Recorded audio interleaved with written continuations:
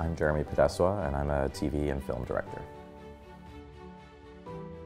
I was interested in movies and television my entire life. I was always interested in artistic things, and movies and television were always an obsession of mine, so I thought this should be something that I should investigate when I'm thinking about a career. So I didn't know anybody in the film business at all, but I did go to film school, and as soon as I started to make things, I felt this is really the thing for me. It felt very natural to me. It's a very specific skill, actually working on a show where you're coming in where certain things are established already. You have to, you know, really kind of take that show and absorb it into your bloodstream in a certain way so that you have a kind of very intimate understanding of what the show is. And then you have to be able to deliver on that in a way that's, uh, that's true to the voice of the show, but also where you can bring something new and very specific to your own personality and your own taste and style. So it's always about kind of um, working with an established thing and then hopefully trying to elevate it in a certain way or make it more unique and specific. You know, each one has things that are very special about it and relationships that are really important and you know, sometimes it's easier to say it's just the last thing you did is the thing that's your favorite. Um, so I, I, could do that. the last thing I did was Handmaid's Tale, which was a really fabulous experience. And before that, a new show called Here and Now uh, by Alan Ball, who created Six Feet Under for HBO and before that Game of Thrones. So, you know, they're my most recent favorites, I would say.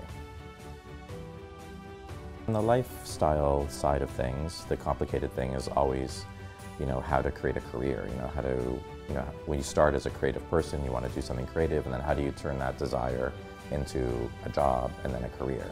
So it's really just kind of thinking about your life in a way and your career over a long time and you know, that takes a little bit of work and it's over time it's not always so clear how you should proceed.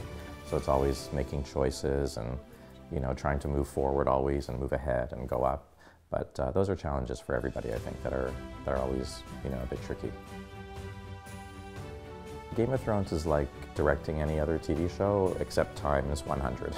so it's like all the things that you normally have to do, you have to do a lot more of in a much more complicated way.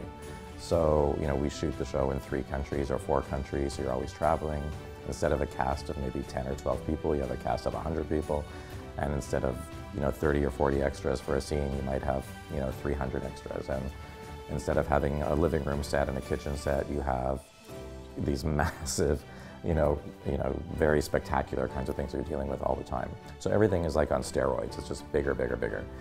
And, um, you know, it's the, the skill set that you use is very similar, but you always have to keep adding to the skill set on a show like that. So you do more special effects and more visual effects and more stunts and more more of everything. So it's just kind of, um, you know, it, it, it is like doing anything else, but it's it's just layers and layers of complexity, really. I think the main thing is always that find the thing that you love and find the thing that's very particular to you you know, whatever arena of filmmaking is interesting to you or that you have passion about, that's the thing that you should really do.